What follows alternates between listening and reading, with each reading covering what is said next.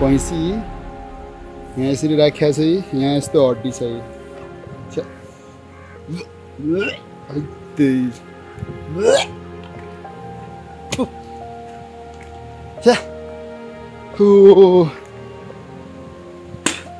यत्रो हड्डी आमामा।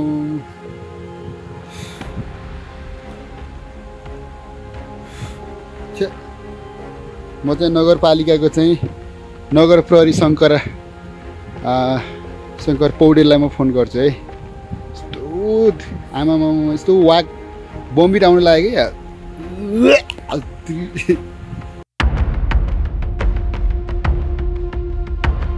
हामी चाहिँ यति बेला यो बटसालामा आइपुगेका छौँ।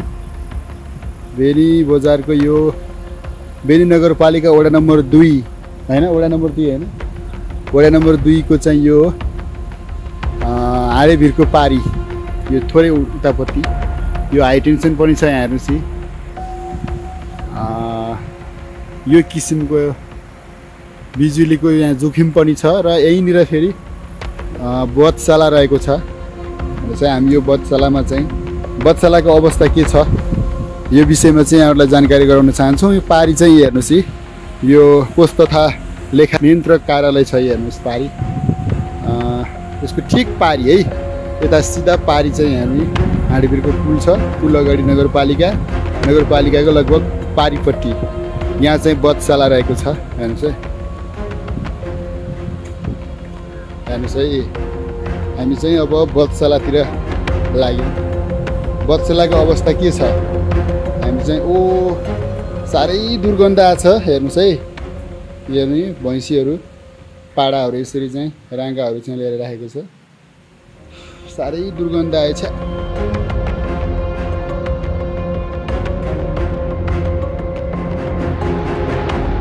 भैँसी यहाँ यसरी राखिया छ यहाँ यस्तो हड्डी छ है।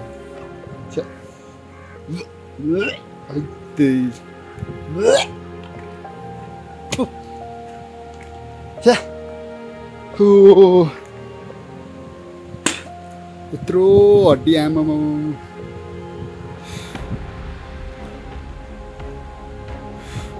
छ्या। म चाहिँ नगरपालिकाको चाहिँ नगर प्रहरी शङ्कर शङ्कर पौडेललाई म फोन गर्छु है। यस्तो आमामा यस्तो वाक बम्बिट आउनु लाग्यो क्या। भाइ? हजुर नमस्ते भाइ। नमस्ते भाइ नमस्ते। म चाहिँ यो बटशाला छ नि अँ यो बटशालामा आएको छु है यहाँ आउनुहोस् न दाइ यहाँ चाहिँ एकदमै दुर्गन्धित यति घिनलाग्ने चाहिँ अवस्था र- छ होइन। यो चाहिँ तुरुन्त अब आउनुहोस् त दाइ हजुर हजुर आइसके पछाडि यहाँ अनुभव गर्न सक्नुहुन्छ दाइ। होइन मैले त्यहाँ अनुभव गरेको छु भाइ। हजुर। म त्यो लालाई के अरे उसलाई भन्दा हुन्छ त्यसले नटेरेकै हो होइन। हजुर हजुर। त्यो उसले सुरेशलाई दोस्राउँछ सुरेशले उसले आउनु न तपाईँ आउनु न तुरुन्त एक्सन देखाउनु न तपाईँले। म यहीँ छु कि दाइ आउनुहोस् न। म थोरै अहिले बाहिर छु भाइ थाहा भन्दाखेरि कहाँ हुनुहुन्छ? अँ, मैले यता गएको छु त्यो झोगा अरू साथीहरूलाई पठाउनु न। ल म त्यो अभिषेकलाई पठाइदिइहाल्छु है। ल म यहीँ बसेँ है त। ल। भाइ नाम के हो? सुरेश दर्जी। यो दुर्गन्ध के को हो यो दुर्गन्ध यो दुर्गन्ध त अब हड्डीको अब यताउति भन्नु नि हो हड्डीहरूकै हो। कस कसले हो? तपाईँले हो?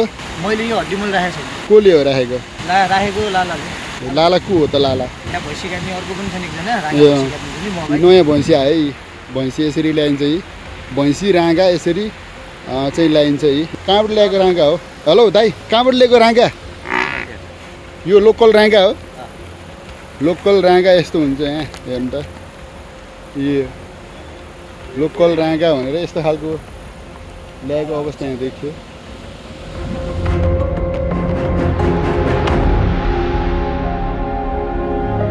यहाँ एकदमै दुर्गन्ध आइरहेको छ। लाला भन्ने तपाईँ हो? बुढा। हो। यो व्यवसाय कसले गर्ने? हजुरले कि? बुढाले हो तर नभएपछि गर्न नै पर्यो ए, यो चाहिँ दुर्गन्ध। तपाईँ दुईजना हुनुहुँदो रहेछ यहाँ काट्ने होइन? म चाहिँ यता आइरहेको छु। म पत्रकार बादल साई बोल्दैछु है। अनि यहाँ चाहिँ तपाईँको एकदमै दुर्गन्ध चाहिँ हामीले देख्यौँ कि। यो के हो यो? सफा हुन्छ हेर्नुहोस् त।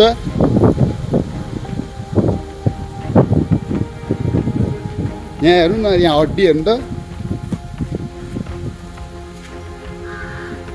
अब यस्तो यहाँ चाहिँ वाक आउन लाग्छ कि यहाँ चाहिँ बमिट हुन थाल्छ हेर्नु।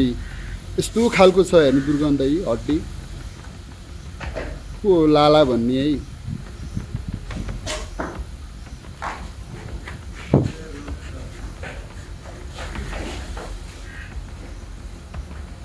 तपाईँ लालाको को हो भाइ भाइ यो कहिलेदेखि हो यसरी हड्डी राखेको यो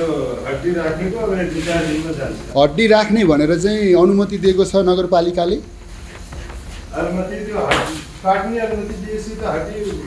हड्डी राख्न पाइन्छ कि पाइँदैन त्यो कुरा त त्यो भाइलाई बोलाउनु त सुरेश भाइलाई यहाँ हड्डी राख्न पाइन्छ पाइन्न तपाईँहरूलाई के छ? हड्डी चाहिँ? हड्डी चाहिँ अब खोइ अब एउटा हिसाबले अब के छ? नगरपालिकासँगै बुझ्नुपर्छ हड्डी चाहिँ अब हाम्रो मलाई यो एकदमै दुर्गन्ध चाहिँ यहाँ चाहिँ मलाई बमिट आउन लाग्यो कि? भाइ मलाई यहाँ बमिट आउन थाल्यो कि? के गर्ने अब मुट आउनु थाल्यो? बनाइदियो भने त कहीँ जान्थ्यो अब गाडी पनि त्यस्तै हो यहाँ आउनु अँ।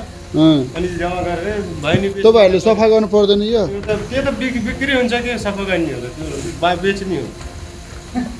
बेच्नको लागि तपाईँले यस्तो दुर्गन्ध फैलाउने? खै लाला भन्ने को उहाँलाई बोलाए हुन्थ्यो नि?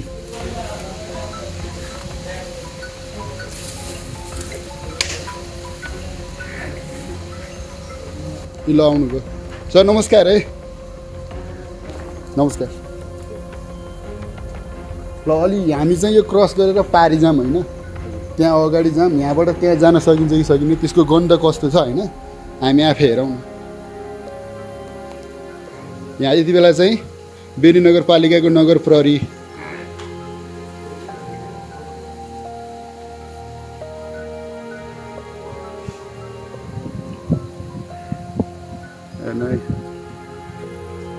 हामी यो यता यता। Hello sir. यहाँबाट त्यो काट्ने ठाउँमा जाउँ न त्यो त्यो छाला भएको ठाउँमा जाउँ न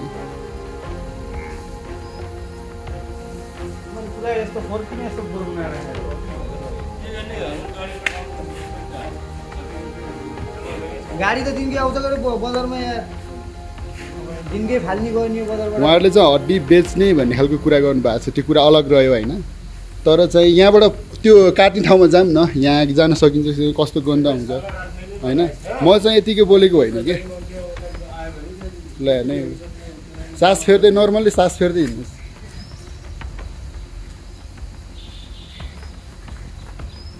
हेर्नु है। गनाइरहेको छ नि सर होइन?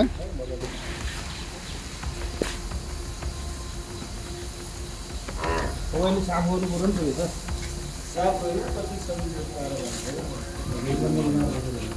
यो कहिले साफ गर्ने? यो चाहिँ यसरी हड्डी थुपार्ने भन्ने चाहिँ अनुमति छ कि छैन?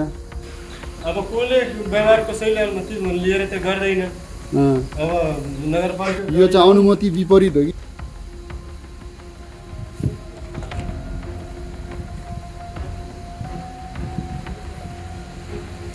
सर अब के भन्ने उहाँहरूलाई? ल टेक सर के भन्नुहुन्छ तपाईँ? आउनुभयो यो देख्नुभयो होइन? त्यो सापको लागि उहाँहरूलाई कारवाही हुन्छ? हजुर हजुर।